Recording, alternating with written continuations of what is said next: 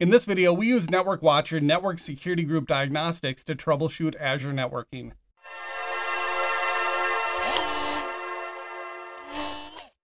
Hello everyone, I'm Travis and this is Ciraltos. In this video, we use Network Watcher Network Security Group or NSG Diagnostics to troubleshoot Azure networking. Before that, please like and subscribe and share with a friend. That helps grow this channel. Also, check out my courses on Azure Virtual Desktop, Windows 365, and hybrid identities with Windows AD and Azure AD on udemy.com.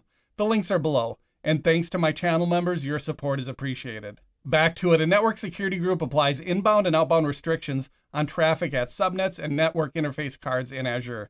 Check out one of my previous videos to learn more about NSGs. The link is below or on the screen.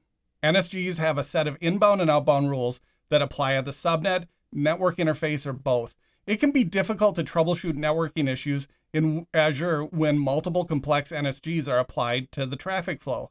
NSG Diagnostics is a tool we can use to troubleshoot those issues. I previously did a video on Network Watcher IP Flow Verify. There are some overlaps between these two products. While IP Flow will show if a connection is allowed or denied based on network security groups, NSG Diagnostic gives a more advanced view of the NSGs to identify where traffic is getting blocked. We'll jump into the demo in just a second. In the example coming up, there's a VM that was just deployed with an NSG at the NIC and there's another one at the subnet. Keep in mind that NSGs are evaluated at the subnet first, then at the NIC. The first rule that matches applies, and no further action is taken. When you change a rule on an NSG, it can take a few seconds for that change to take effect. Keep that in mind if you're making changes and don't see the results you expect. We'll use the portal in the demo coming up, but there's also options for the Azure CLI and PowerShell. This is helpful if you want to include NSG diagnostics in any type of automation or if you just prefer working in the shell. Let's jump into Azure and get started. Here we are in the Azure portal. I just deployed a new VM in Azure. This is the network security group applied to that computer's NIC. It allows TCP port 3389 inbound from anywhere. That's the RDP port. We should be able to connect to this computer and log in remotely. Let's give it a try.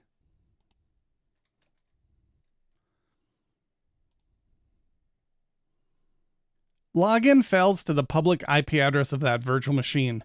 We need to figure out what's going on. At this point, we could start digging through the network security groups, but let's use the NSG diagnostics tool instead. Let's go to Network Watcher, go to NSG Diagnostics. We'll select our target computer. That's the VM we're trying to log into. Notice we have additional options including network interfaces and application gateways. We'll select virtual machine and select that new virtual machine we're trying to log into. We'll go to protocol. RDP is a TCP protocol. The connection is inbound to the target computer. We could add my computer's public IP address as the source, but let's add the internet service tag.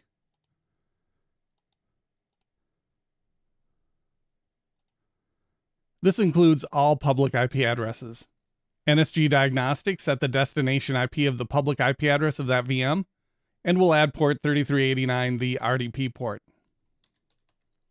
Let's run the diagnostics. It shows the connection is denied at the first test.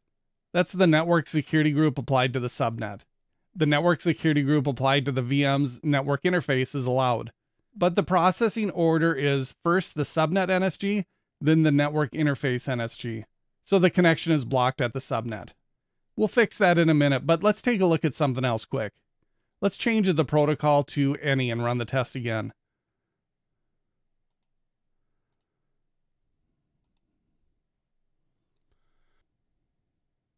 Now, both the subnet and network interface network security groups are showing blocked. Why is that?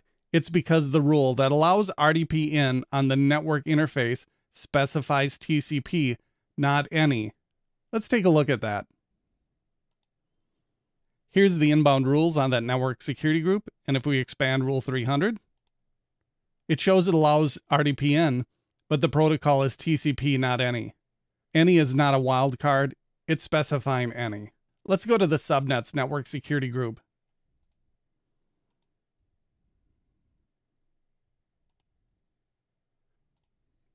The subnet's called IP flow test 2. Let's go to the inbound security rules. We'll add a rule. We'll use any as the source with a wildcard for the source port. Destination is also any and the service is RDP. That sets TCP port 3389. And this is off topic, but I have to add it. Opening an RDP port to the internet is a bad idea. I'm just doing this for an example. The most secure option in Azure is using Azure Bastion. An alternative to Azure Bastion is to change the source to a specific IP address using a slash 32 subnet mask. So we can change it to IP address and it shows some examples. You could even do my IP address. That will use the IP address of the computer you're working on. Now, only that IP address has the ability to RDP into computers on that subnet. We'll change it back to any for this example. We'll leave the action to allow and add. That was added. Let's test the NSG again. We'll go back to Network Watcher. NSG Diagnostics, and we'll run the same test. Protocol is TCP. It's an inbound connection. The source port is a service tag. The service tag is the internet. And if you did add an IP address in the rule that we just created, you'll need to update the source with that information. The destination port is 3389. And we'll run diagnostics. Now it's allowed. Let's test it and see if it works. We'll try to RDP to that computer.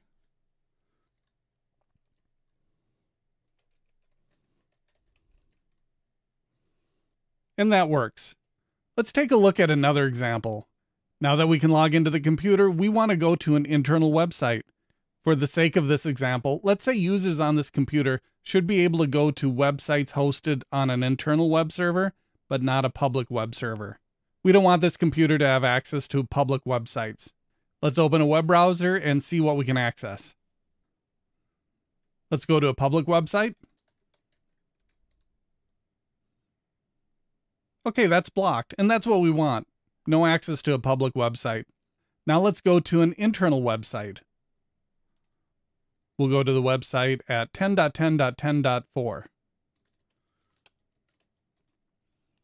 This is a Windows server I set up just for this example. It has IIS running, but it looks like we're having a problem. That doesn't work. Now we need to figure out what that problem is. Let's go to Network Watcher. Here we are in Network Watcher. Let's go to NSG Diagnostics. We'll select the target VM. NSG Diag for this example. That's the computer we were just on. We'll leave the protocol to any and this is an outbound connection. The IP address is 10.10.15.5. The local IP address of the target computer. Let's set the destination address to 8.8.8.8. That's a Google DNS server. I'm just using that as an external IP for testing the NSG. It's easy for me to remember. We don't need a working web page for this test just an external IP. We'll add destination port 80 and run the diagnostics. It shows a deny action on the network interface. Let's try port 443, the SSL port next.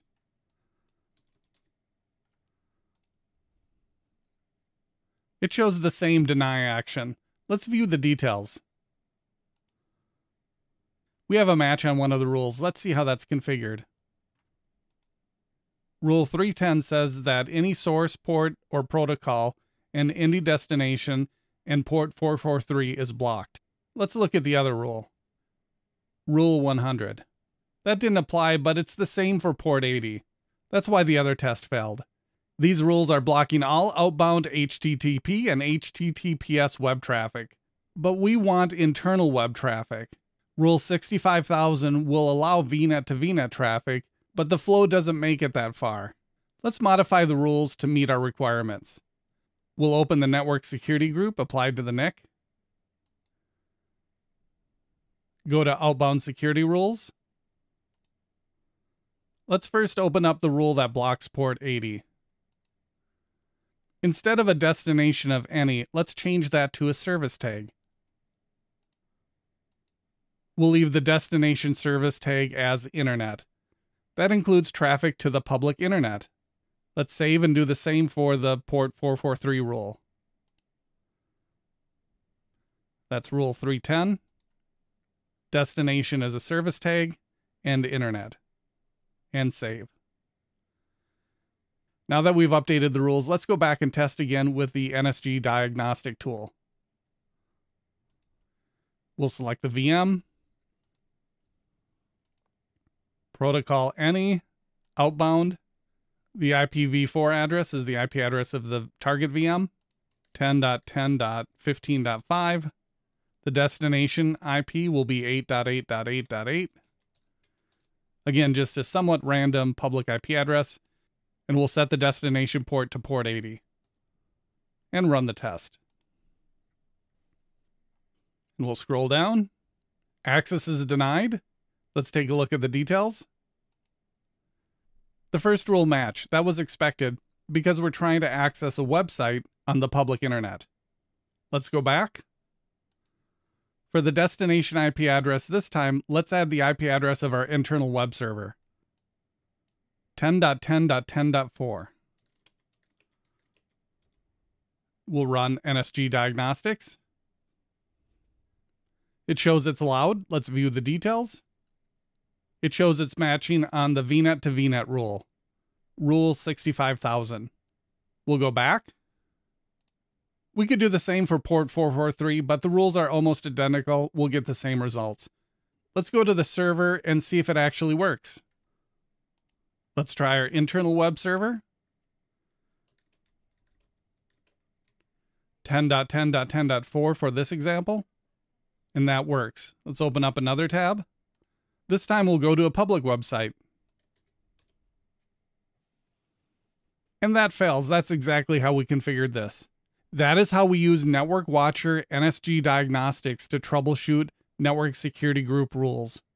I hope this helps you better understand troubleshooting network security groups.